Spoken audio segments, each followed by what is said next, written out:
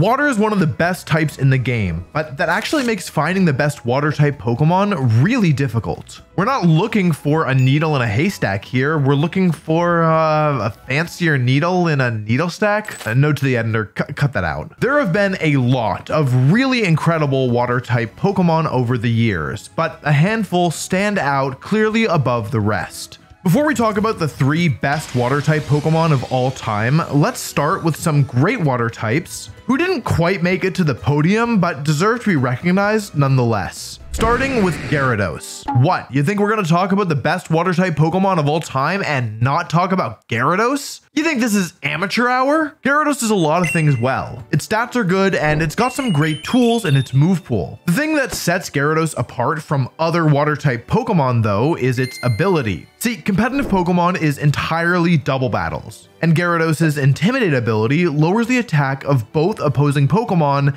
every single time Gyarados hits the field. It's one of the best abilities in the game, and it works especially well on Gyarados, who has good special bulk but a worse physical defense stat than Exeggcute. What I think is cool about Gyarados is that it works both as a defensive support Pokemon and as an offensive sweeper. Gyarados can slow opponents down with Thunder Wave and Icy Wind, it can boost its teammates' damage output with Helping Hand, and it can shut down set-up threats with Taunt. Also, if you paralyze your opponent and hit them with Waterfall, you can make them very angry. If you'd rather your demonic Wind Kite do more damage, well, look no further than the Dragon Dance set. With Dragon Dance, Gyarados can raise both its attack and speed stats, allowing it to outspeed the vast majority of Pokemon and output huge amounts of damage. Of course, Gyarados does have a problem. Since it's a flying type but not a bird, it cannot learn Brave Bird or any other good flying type attack. Its best option is, sadly,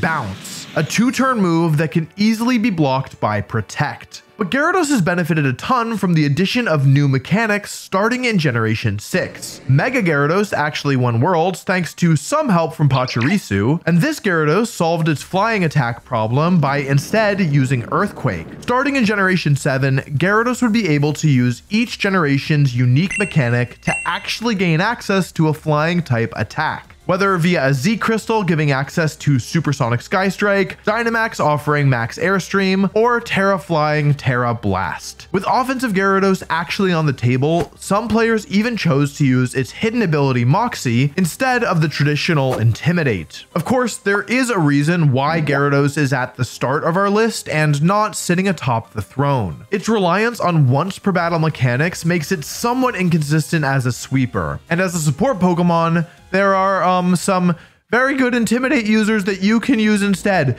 And these Pokemon are very well designed and, and are very well balanced and, and are good for the game. But not every water type Pokemon on our list was always a water type. And if you, like me, know way more about Pokemon than is considered healthy by 10 out of 10 doctors, you probably know our next Pokemon is Rotom Wash. Initially a ghost and electric type, Rotom Wash changed to a water and electric type starting in Pokemon Black and White, and immediately went from having less usage than a washing machine left on the curb to being used as much as a washing machine in a college dormitory. Rotom's stats are good, not great, but they're exceptionally well rounded because of how they're dealt out and that allows players a great deal of control over how they actually use Rotom Wash. One of the most popular ways of using Rotom Wash is as a bulky attacker, capable of both disrupting opponents and dealing damage. Most Rotom, oh yeah, I'm just gonna say Rotom now instead of saying Rotom Wash every time because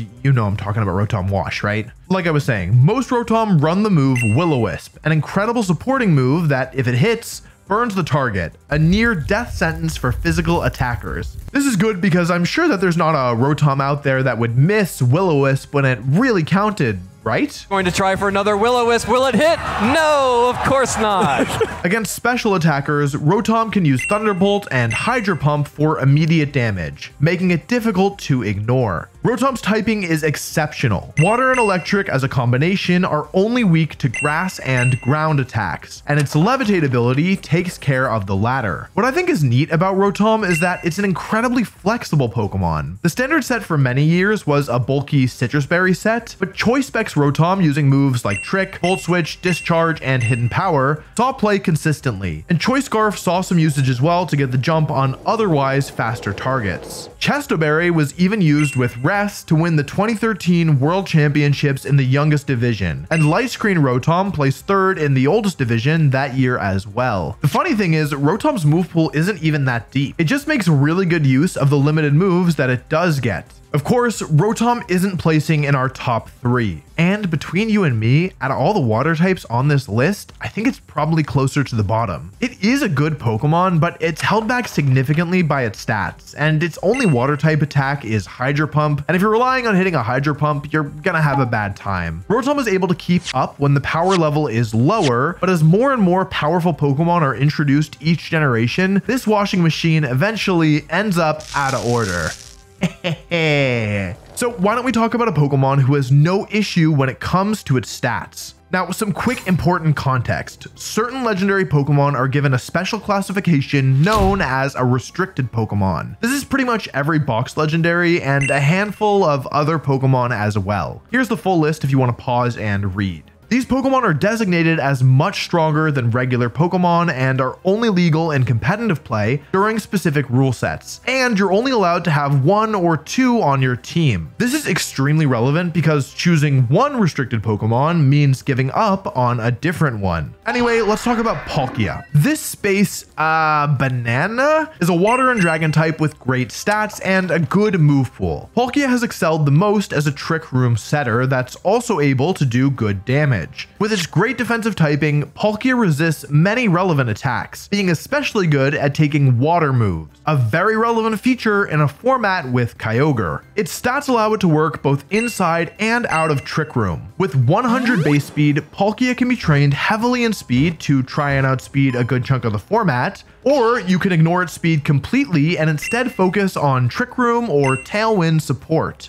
Palkia's good overall bulk makes it very difficult to get off the field, and with its high base special attack, ignoring it is about as safe as ignoring a bear in a hot dog eating contest who just ran out of hot dogs. Palkia's move pool is very solid. Its primary support move is Trick Room, reversing the speeds of the battle, but it also has a lot of good offensive moves. Thunder has been used as an answer to Kyogre, and Flamethrower and Earth Power are great options against Steel-type Pokemon. Palkia's signature move, Spatial Rend, is a mostly upgraded version of Dragon Pulse. And though it's weaker than Draco Meteor, it doesn't have the same drawbacks. Plus, it crits more often. From a move pool perspective, Palkia's biggest weakness is that, just like Rotom, it doesn't have a reliable water type attack. Hydro Pump is really all you're given, and again, with only 80% accuracy, you should never bet on it in a pinch. Dynamax and Z moves both gave players a way around this, as both these special moves never missed, and Max Geyser even set up the rain for future attacks. But in Scarlet and Violet, neither option remains to our Abyssal Abomination. But more than Hydro Pump's uh, performance issues, Palkia's biggest weakness is that as a restricted Pokemon, it just feels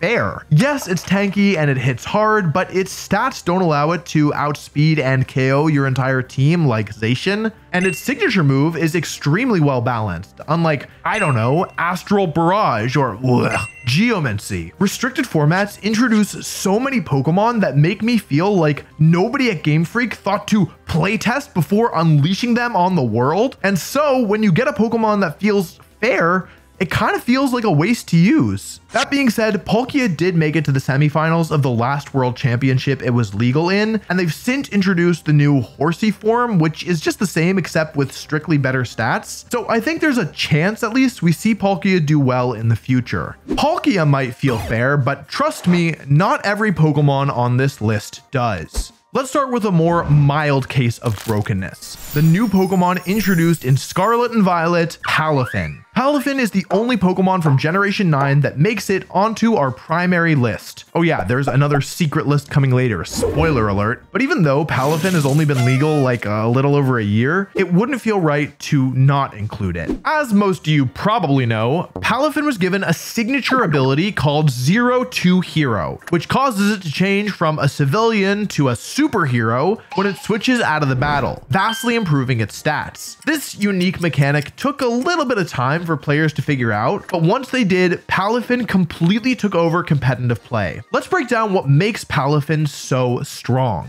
The easy answer is its stats when transformed. I mean, look at this thing. Of the new Pokemon introduced in Generation 9, not including Paradox or Legendary Pokemon, I mean, Palafin is clearly the best. In fact, of all the Pokemon currently in Scarlet and Violet, Palafin has the fourth highest attack stat, beating out Zacian, Groudon, Rayquaza, and many other powerful Pokemon. And its other stats aren't exactly lacking. The same base speed as Palkia with better than average bulk. Let's just say nobody was complaining about Palafin being too weak. Normally, for a Pokemon to be this strong, there needs to be a drawback, like Slaking, who is weaker than Palafin and also has a much worse ability, or by being a restricted Pokemon who is supposed to be stronger than a regular Pokemon. But Palafin's drawback is relatively easy to manage. You just have to switch it out. By pairing Palafin with disruptive Pokemon that cut opponents' damage output, like Ting-Lu, Arcanine, and Amoonguss, players were able to make Zero to Hero's drawback feel like zero problem to deal with.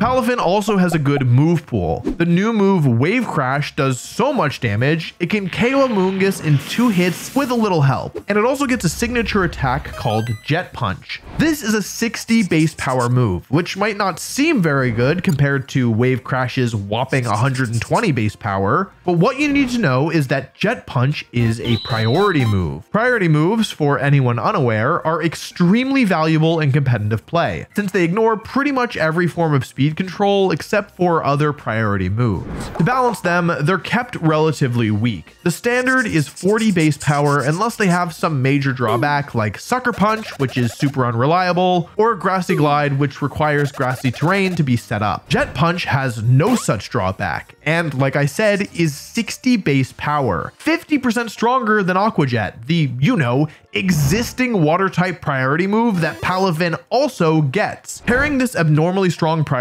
move with Palafin's sky high base attack stat and additional multipliers like Tera Water, Mystic Water, Rain, or Helping Hand, and Palafin is able to KO many faster Pokemon from full HP with Jet Punch. Palafin's remaining moves aren't quite as exciting as the two we've already talked about, which I think is for the best for everyone. It does learn Haze, which was quite valuable for a time thanks to Dondozo being a menace. And I won a tournament using close combat to hit Pokemon like Tyranitar, And Gastrodon. The truth is that Wave Crash and Jet Punch are so powerful that between them and Protect, you kind of don't need your fourth move a lot of the time. Of course, Palafin has suffered such a major decrease in usage that I made a whole video just talking about it. To give you a much shorter version without any of the nuance, Palafin suffers a lot in a faster format with more immediate pressure, because it's much harder to mitigate the damage you're forced to take on the turn you switch out. And having a Pokemon that can't do any damage until it's switched out is a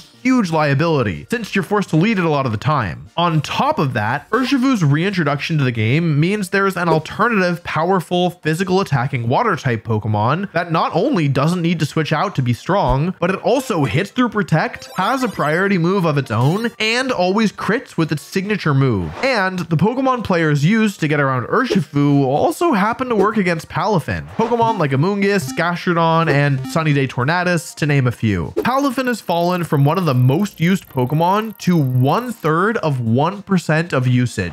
But who knows? Maybe the hero will appear again when we need him the most. Which is what I hope happens to our next water type Pokemon, since it really hasn't been used for quite a long time. But this video is about finding the best water type Pokemon ever, so we're still gonna talk about it. It's one of my personal favorite Pokemon, Ludicolo. Howdy, partner. Listen, I don't own a cowboy hat. This is the closest thing I have, okay? Don't yell at me. Today's video is sponsored by the Oregon Trail. Now, if you're about as old as I am, very young and youthful and spry, you probably remember that the original Oregon Trail game game was a huge hit during childhood, which is why I am so excited to tell you that a remake of the classic released in November of 2022 with modern gameplay and amazing visuals. This official successor to the global phenomenon blends the historically accurate with the completely wild.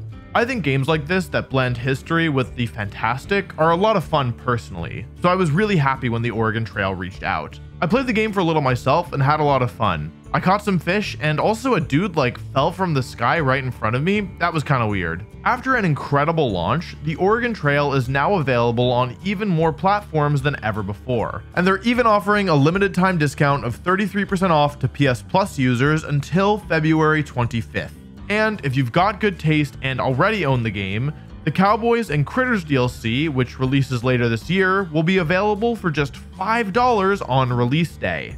If you want to check the game out for yourself, make sure to click the link in the description to discover and play the game. Thanks again to the Oregon Trail for sponsoring this video. Ludicolo is one of the Pokemon on our list who actually feels pretty fair. It's got, uh, respectable stats? Calling them good would be a bit of a stretch. Despite this, it's actually won the World Championships twice, a feat not many other Pokemon have accomplished. So, what makes Ludicolo so good? The short answer is that it's incredibly strong in and against rain teams. With water and grass typing, Ludicolo takes virtually no damage from water type attacks, and with its Swift Swim ability and its water type moves getting powered up in the rain, it's an amazing Pokemon to have on a rainy day. Ludicolo won Worlds in 2009 and 2010, but didn't see very much play during Pokemon Black and White because Kingdra was the main rain sweeper, though it did win US Nationals in 2013 as an anti-rain option on a sand team. In 2014, however, Kingdra wasn't in the game, and many players picked up Ludicolo in its absence. With the Assault Vest item and its good natural special defense stat, Ludicolo was incredibly tanky, and with Fake Out supporting its team, Ice Beam hitting dragon types, and Giga Drain keeping it healthy and threatening opposing water types, Ludicolo quickly became a staple. And unlike many water types we've talked about thus far, Ludicolo learned Scald, allowing it to actually have a consistent water type attack that could also fish for burn. Offensive Ludicolo has seen some play over the years as well, with popular items being Life Orb or Waterium Z to boost Hydro Pump, and even Absorb Bulb was used occasionally. I used it myself to get second at a regional on my super slow Ludicolo that was slower in rain than my Choice Scarf Politoed who would activate the Absorb Bulb with Surf Wait, does this even make sense to anybody? Do y'all understand what I'm talking about? Or is this just like an I like your funny words magic man moment? Anyway, Ludicolo has been a niche pick ever since like 2015. Though despite being niche, it's actually had a lot of success, winning regional level events in Latin America, Malaysia, and Singapore in 2018, as well as an international in 2018, the highest level of event aside from Worlds. In 2019, Kyogre was reintroduced, and Ludicolo once again saw success at the top level, in large part due to it being one of the strongest Pokemon against Kyogre, while also being effective against Groudon. In Sword and Shield, Ludicolo didn't see any major success for the first generation since competitive Pokemon began, though my hunch is that this was at least in part due to it not being well suited to take advantage of a Dynamax format. Ludicolo was only recently added to Scarlet and Violet with a DLC, so the big question question in my mind is, will Ludicolo be able to make a triumphant return, or are its glory days behind it? Now, there's just one more Pokemon on my list of good but not the best water type Pokemon, and frankly, it's the Pokemon I spent the most time debating whether or not it belonged in the top three. I've saved it for last because it is undeniably one of the best water types of all time, but I'm gonna make the call that it's not quite the pinnacle yet. It's everyone's favorite slug, Gastrodon. At first glance, Gastrodon might seem strange to have above Pokemon like Palafin and Palkia. Its stats are okay. It's really slow, but it's got respectable bulk and a usable special attack stat. But we're not looking for good Pokemon, we're looking for the best of all time. So why is Gastrodon here? The biggest factor is its ability. Storm Drain not only makes Gastrodon immune to all water type moves, it also gets a special attack boost if it's hit with one, and it redirects all water type attacks to itself, protecting its partner from powerful moves. This is an absurdly good ability, and it's the primary reason Gastrodon was able to win not one, but two world championships, both done in the last five years. Gastrodon's ground secondary typing helps as well, giving it an electric immunity as well as some handy resistances and a secondary offensive stab move. With two immunities, four resistances, and only one weakness, Gastrodon is extremely difficult to remove, making it a massive problem for water type attackers. Gastrodon's move pool gives it a number of useful tools as well. Recover can be used to shrug off damage, Icy Wind can control the speed of the battle, both Scald and Muddy Water offer valuable secondary effects, Earth Power is a reliable ground attack, and Ice Beam is great coverage against grass and flying types. Gastrodon has benefited a lot from the major mechanics of the last three games as well, with Groundium Z allowing it to do huge damage despite being bulky, Yawn being an incredible tool against Dynamax Pokemon, Storm Drain shutting down Max Geyser Pokemon like Kyogre and Palkia, and Terastallization allowing it to get around its quadruple weakness to grass. Gastrodon is kind of a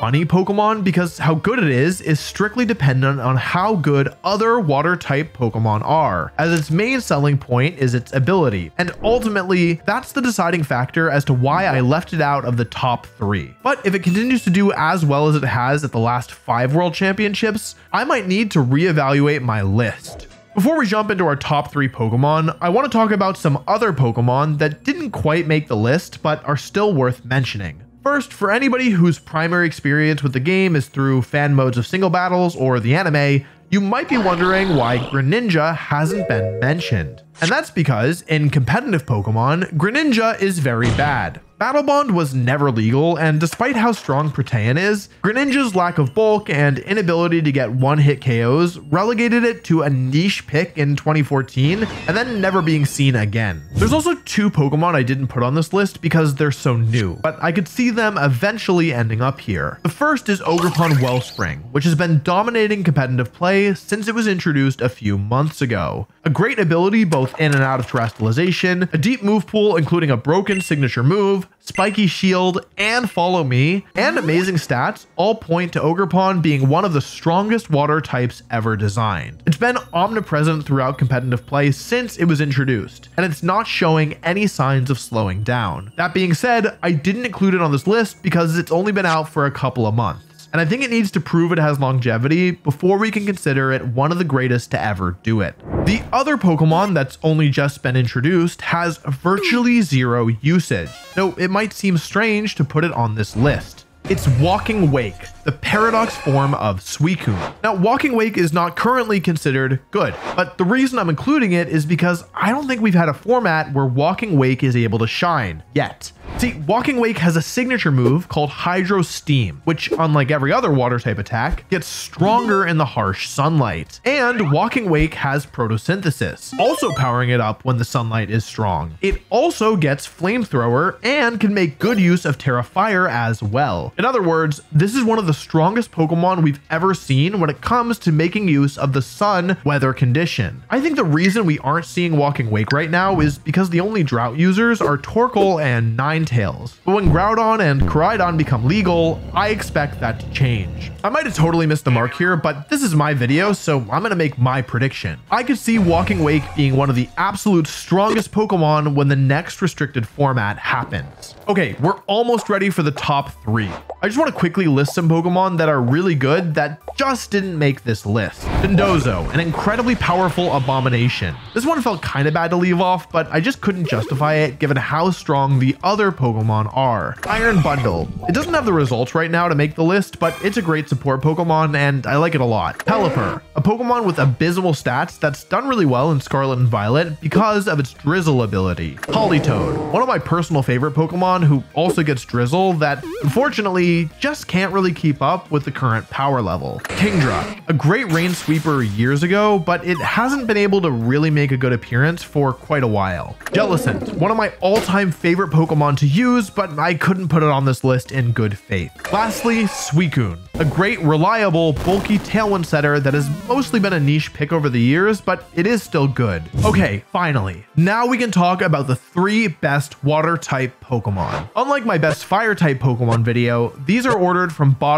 to top. So let's start off with number three, Urshifu. The only thing that most of you are probably surprised about is not seeing Urshifu higher. I did make an entire video on why Urshifu completely breaks the game, But for those of you who haven't watched it, I'll give you a little recap. Urshifu is a water and fighting type Pokemon with the signature ability Unseen Fist, which causes all of its contact moves to completely ignore Protect with no drawback. Protect is the primary defensive tool in the game, meaning there is virtually zero defensive counterplay against Urshifu. As if this weren't bad enough, Urshifu's signature move, Surging Strikes, always crits, ignoring attack drops and defense boosts, as well as doing bonus damage. And it hits three times, meaning you can't stop it with a Focus Sash or Sturdy. Add on to all of this, Urshifu's great base stats and ability to use multiple items very well, and you can see why nobody has ever tried to argue that this Pokemon is anywhere close to balanced. Urshifu is one of the main Pokemon players were trying to beat going into the World Championships last year. But despite that, it still managed to not only win, but also place second, third, fifth, sixth, and eighth out of the top eight competitors.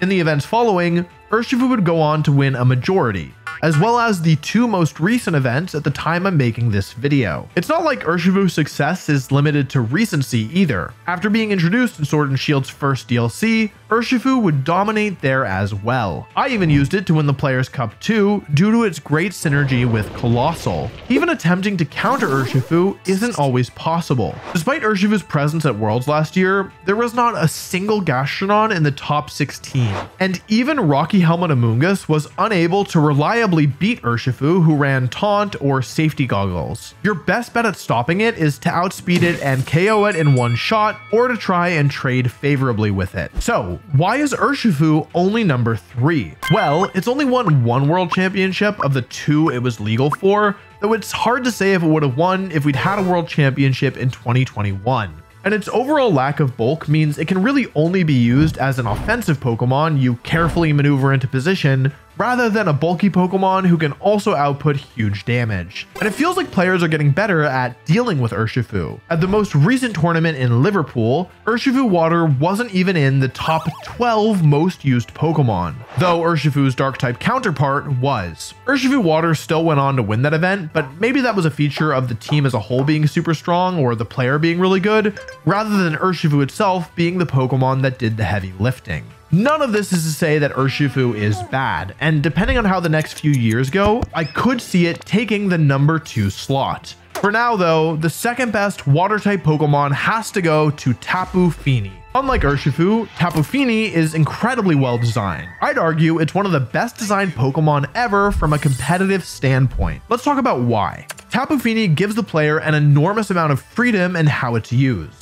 Its stats imply it wants to be defensive, and if you want, you can use it that way, using moves like Icy Wind, Heal Pulse, Swagger, Nature's Madness, Soak, Haze, Mist, Light Screen, and Taunt to control the pace of the battle and disrupt your opponent. What if you want Tapu Fini to do damage? Well, with a choice specs, you can do that too. Moonblast, Dazzling Gleam, Trick, and Muddy Water are spectacular attacks, and you can afford to train Tapu Fini offensively because its natural defenses are so high. What if you want Tapu Fini to be a setup sweeper? Well, with Calm Mind and Leftovers, you can do that too. With its amazing stats and incredibly deep move pool, people you can customize Tapu Fini to fit on any team. My favorite thing about Tapu Fini though has to be its ability Misty Surge. This sets up Misty terrain, which isn't as flashy as the other three terrains. It cuts dragon moves damage in half and it prevents status conditions. But preventing status conditions is massive. How many battles have you lost to a Stray, Paralysis, Burn, or Freeze? With Tapu Fini on your team, you never have to worry about a secondary effect stealing the game away from you again. For players who value being in control, this is a godsend. Misty Surge's secondary benefit is being able to shut down the powerful damage boosting effects of electric, grassy, and psychic terrain, making it an excellent defensive tool against the other Tapu Pokemon. Tapu Fini isn't as flashy as Urshifu or even as Palafin, but I still believe it to be the second best water type Pokemon of all time. It's won two world championships in 2017 and 2019, and I'm confident that if it were in Scarlet and Violet, it would be doing incredibly well,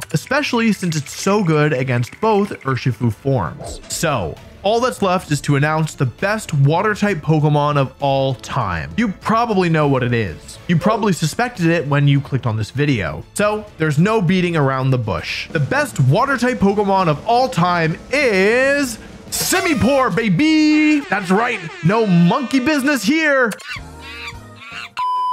Sorry about that. I think that evil Wolfey got a hold of my script somehow. Anyway, the real best water type Pokemon of all time is Kyogre. To be honest, there's no real question here. Arguably the best restricted Pokemon of all time, Kyogre has won not one, but two world championships. And the years it hasn't won Worlds, it's won multiple other major tournaments and been a top threat going into Worlds. Kyogre's Drizzle ability, or Primordial Sea when it's in its primal form, is incredible, taking control of the weather and powering up its water type attacks. This matters because Kyogre learns the best water type attack ever, Water Spout, a move that does more damage the higher Kyogre's HP is. Almost no Pokemon can take a full power Water Spout, but even if you manage to weaken Kyogre, you still need to deal with its signature move Origin Pulse, outputting huge amounts of damage. Not that Kyogre's strength stopped there. Its base stats make it not only ridiculously powerful, but extremely hard to get rid of as well, especially on the special side. While its speed stat is a little below what you'd expect for the best water type Pokemon ever, it actually works in Kyogre's favor, functioning with Choice Scarf as a fast sweeper, in Tailwind with some speed investment and a damage boosting item, and in Room as an incredibly tanky attacker. Kyogre's ridiculous flexibility makes it so difficult to handle, as often the ways you beat Scarf Kyogres differ immensely from Trick Room Kyogre. Kyogre is able to take advantage of one of the biggest perks of being a water type, having your water moves get stronger in rain. But it's also able to take advantage of water's defensive benefits as well, with only two weaknesses coupling with its phenomenal bulk, making it one of the hardest restricted Pokemon to remove. I'm personally curious if Koraidon and Miraidon will be able to serve as actual answers to Kyogre. But if there's one thing I've learned over the years, it's to never bet against the fish. I hope you enjoyed this video and feel free to let me know what your favorite water type Pokemon is in the comments. And let me know which type you want me to find the best Pokemon ever of next.